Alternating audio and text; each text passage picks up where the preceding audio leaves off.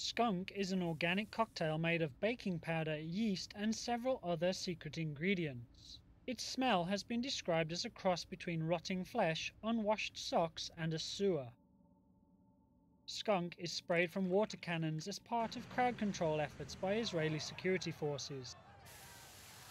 Once clothes are sprayed with skunk, it cannot be washed off, with the odor lasting for up to three days.